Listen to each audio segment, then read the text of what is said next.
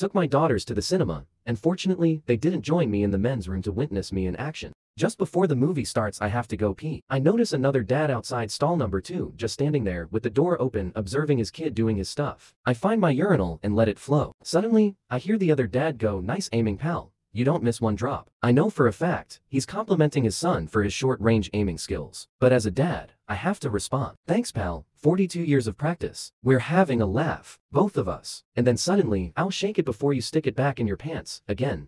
Can't resist. Thanks for a great tip. No more wet patches for me, and I wash my hands and walk off. Thanks to the other dad for making my day better.